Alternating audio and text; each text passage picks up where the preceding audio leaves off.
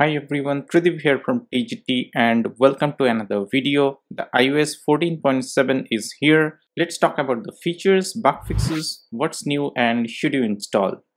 This update came in around 4.54 GB on my iPhone 12 mini.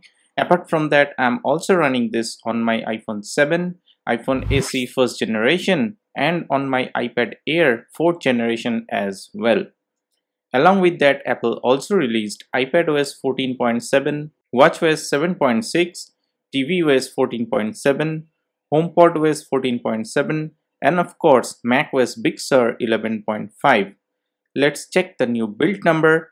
As you can see, the final build number is 18G68. So if you have any of these devices shown in this list, this update should be available for you now. To update your device, go to settings, then general, then software update and you should see your update here. But if you are a beta tester and have already updated to the release candidate version, then you already have this release before the general public.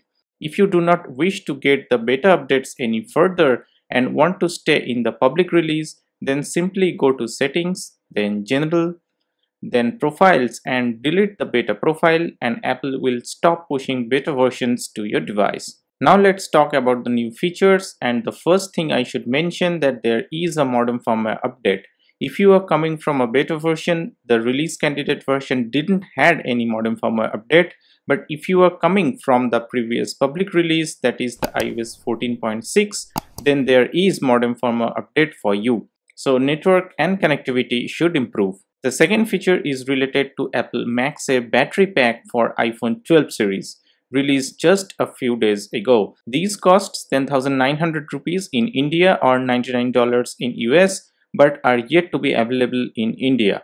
But iOS 14.7 already added support for this battery pack. So if you have an iPhone 12 mini, iPhone 12, 12 Pro or 12 Pro Max, this is going to be a nice little addition for you guys, mostly for the 12 mini users. I'll make a separate unboxing video for that once it is available here in India. The next feature is related to Apple HomePod. If you go to the Home app and then press and hold the HomePod, then scroll a bit down, you'll be able to see the timer option here. Well, I cannot show you the option right now because I'm yet to update my HomePod to the HomePod OS 14.7 but anyone updating to 14.7 should see the option here.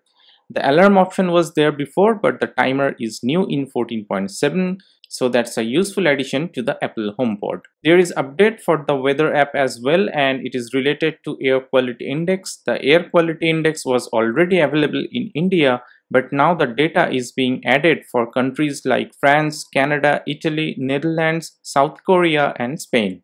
In the Apple Podcast app, if you go to the library, then shows and look up here, now you have two options here, followed and all.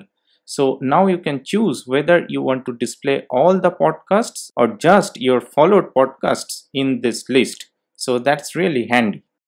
Now, if you are from outside India and an Apple Card user, the Apple Card family sharing feature is finally activated so now within the wallet app in the Apple Card section, you have an option to combine credit limits and share a single account with existing Apple Card users.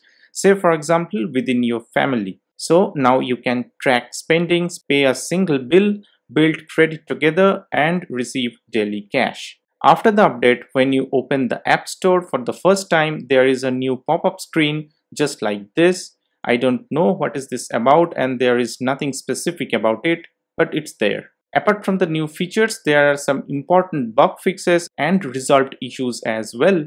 Some of them Apple never mentions about. And the first of its kind is the Wi-Fi bug. There was a bug in iOS that if you try to connect to a certain SSID named just like this, that will completely break your Wi-Fi connection and network settings you have to completely reset your device network settings to use the connections again. So this was a very odd bug and Apple have patched that with iOS 14.7 update. The next is if you go to the Apple Music and open any playlist, just like I have this one, then tap on these three dots. You can see the share playlist option here. Though this option was already there, but there was a bug which made this option keep disappearing from time to time without any proper reason. So this is now fixed. They have also fixed an issue where the Dolby Atmos and Apple Music lossless playback would unexpectedly stop. This was reported by many AirPods Pro and AirPods Max users while using the iOS 14.6. For some iPhone 11 users, there was an issue which caused the battery service message that may have disappeared after a reboot. For the example, say you have an iPhone 11, there was a battery service message in the battery section, but that will show and disappear after you reboot your device. This is now fixed in iOS 14.7. Within the accessibility menu, while using the braille display, there was a bug that could show invalid information while composing a mail message. In the release note of iOS 14.7, Apple said this is now fixed. Also, I hope the green tint issue for some iPhone 12 users, which is a very annoying thing for a long time now, has finally been fixed.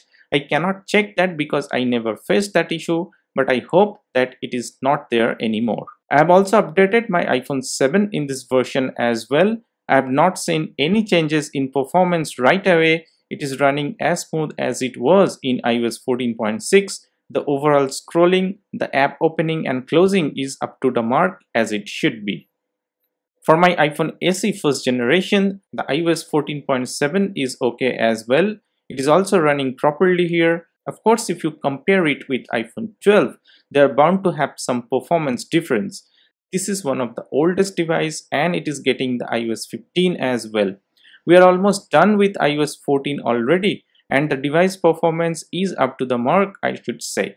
Also I am running iPadOS 14.7 in this iPad Air 4th generation. All the updates and patches that I mentioned previously are applicable for this device also but there is a specific resolved issue for iPadOS 14.7. This update fixes an issue where audio could skip when using a USB-C to 3.5mm jack adapter with iPad. So if you have an iPad with USB-C port on that, just like this, and, and you were having issues while using the adapter, this is now solved. Apart from that, it is running nice and smooth. I have a lot of apps installed in it and it runs just fine. The battery life I get out of this device is absolutely fantastic and this update should keep that going. Performance wise, it is running absolutely fine. I have not encountered any issue with any of the devices so far. Battery life was good on iOS 14.6, though I need some time to test and report the battery life of iOS 14.7, but that should be good as well. As I have already mentioned, we are almost done with iOS 14 and there should not be any battery life issue with iOS 14.7 at this stage. Now if you are interested about the benchmark score, here it is for the iPhone 12 mini. It is 1592 for the single core and 4053 for the multi-core. If I show you the history, you can see the scores for iOS 14.6 and iOS 14.7 is already better than that. So that's really good to see. And here the scores for all the devices that I mentioned here, iPad Air 4th generation, iPhone 7, iPhone SE 1st generation, and iPhone 12 mini. Now according to my understanding, you should definitely update to this version. This update comes with some interesting new features. It is smooth and stable and the app performance is good enough. So if you have any supported devices, just go ahead and update. Thank you for watching till the end. Do hit the like button and don't forget to subscribe to TGT and I will see you in my next one. Peace.